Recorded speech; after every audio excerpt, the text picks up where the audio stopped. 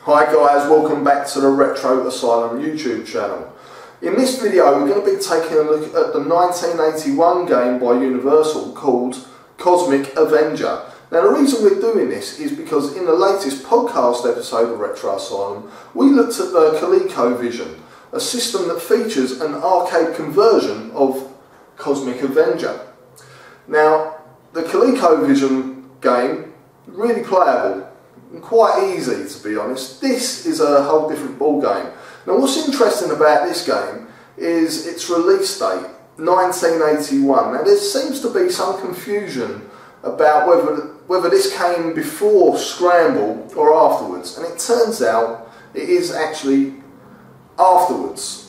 Now this is quite important because it's very very similar in gameplay terms. Also, it came after Defender, and the reason I mention that is because this game features a very similar map, i.e. scanner, in-game, like Defender did, to tell where the enemies are. But this only highlights certain enemies. Anyway, let's take a look at the game and see what you think.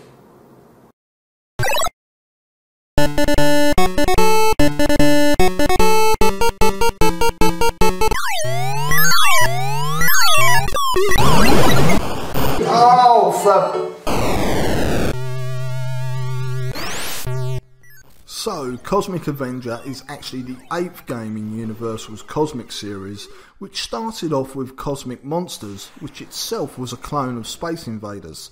So, it's kind of fitting that the series ends with another clone of a popular arcade game of the time.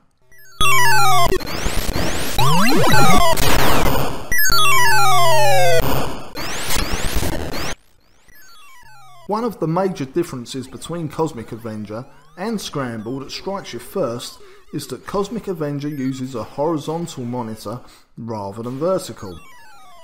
This gives the player a lot more on-screen real estate which you would imagine would make the game feel a little easier than Scramble, but as I'm quickly finding out, it isn't the case.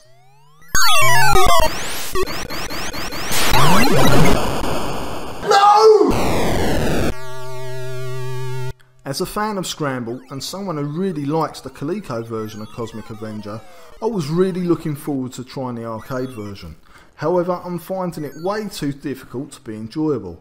In fact, it's one of the most frustrating games I've played in a while.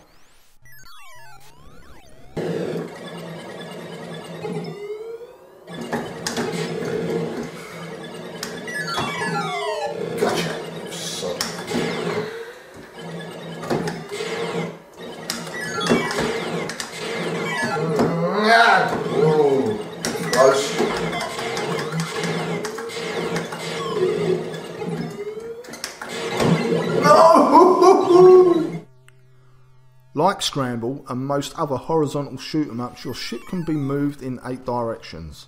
However, the further you move to the right of the screen, the faster your ship starts to move. Move back to the left of the screen and your ship starts to slow down. You have two weapons, guns and bombs. Unlike Scramble, you do not have to worry about your fuel level. Bombing is purely used to kill enemies. The speed of your ship also affects the way that your bombs fall. If you are moving slowly then the bombs will fall directly below you. Move faster and they will fall at an angle. This makes bombing enemies very difficult at times and is very different to the physics used in Scramble.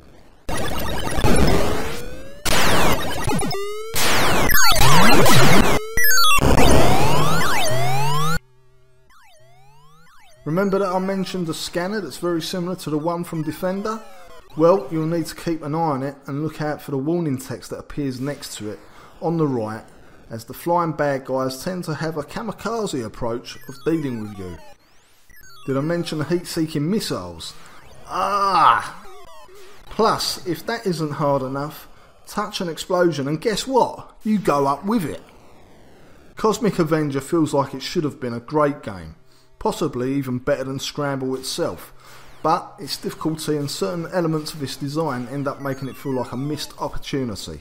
It's not often I will say this, but when it comes down to gameplay, it's probably best to stick to the Coleco version. Oh, I've made it onto the next level. Right, I'm in the water, you become a submarine. down. Ah.